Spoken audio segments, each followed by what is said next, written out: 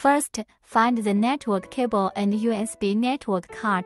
One end of that network wire is inserted into the laser. Plug the other end into the USB network card. Plug the network card into the computer. Right-click My Computer, select Properties, and open Device Manager.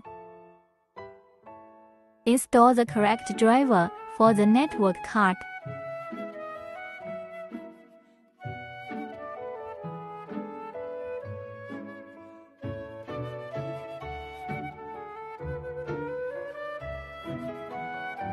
In the properties of this network card power management, turn off its energy saving options.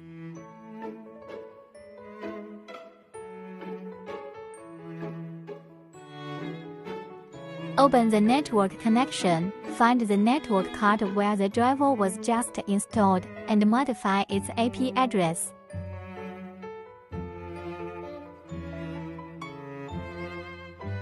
Select IPv4 and click Properties.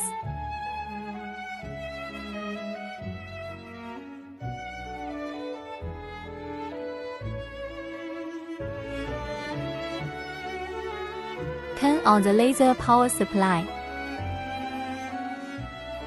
Turn on the laser monitoring software.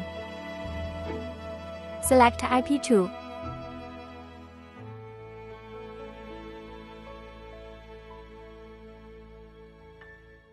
Click Login.